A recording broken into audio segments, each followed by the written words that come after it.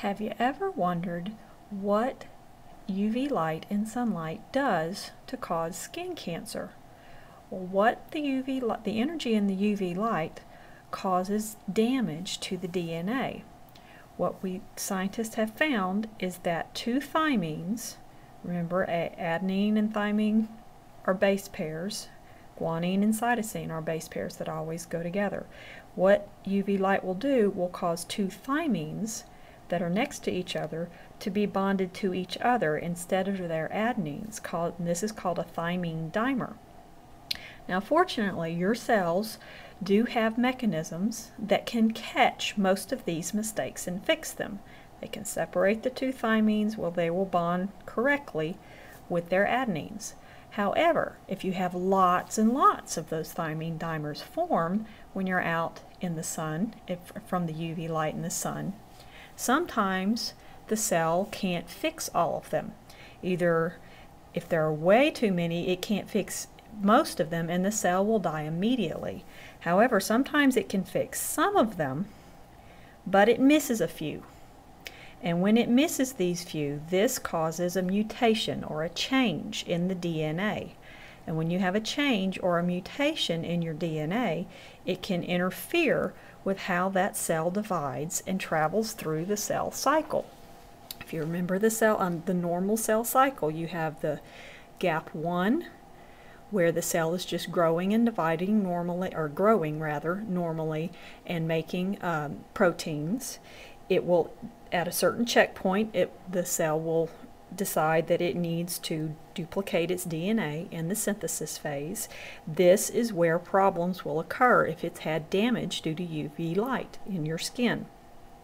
It will, you will have problems with the duplication of the DNA and also with the production of proteins.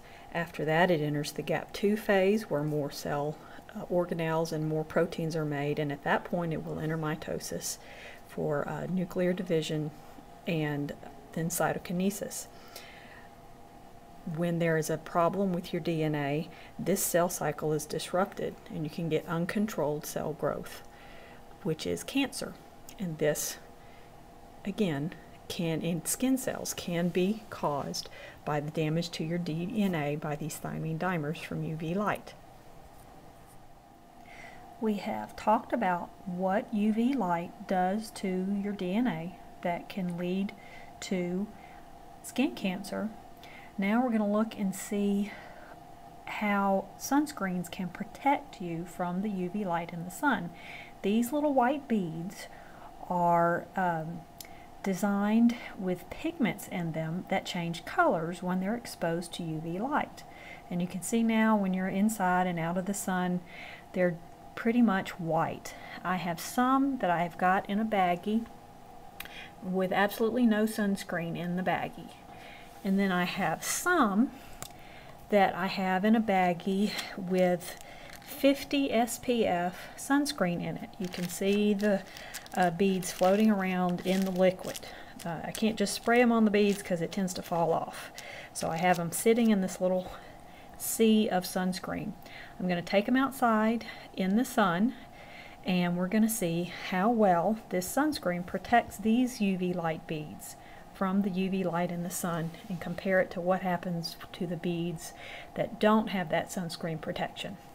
Okay, now I'm going to put the two baggies of beads on these plates at the same, at virtually the same time and we'll compare and see how well the sunscreen protects the U from the UV light. Here is the, um, you can see almost immediately the UV light causes the unprotected beads to turn their bright colors. And you can see, we'll give it a few seconds and compare to see how long it takes. Oh no! Okay, again, you can see the UV light, unpro the unprotected beads are already very bright colors from the UV light, whereas the ones that are in the sunscreen are uh, still, they're very faintly colored, but you can see the sunscreen does protect you from UV light, whether it's your skin or these beads.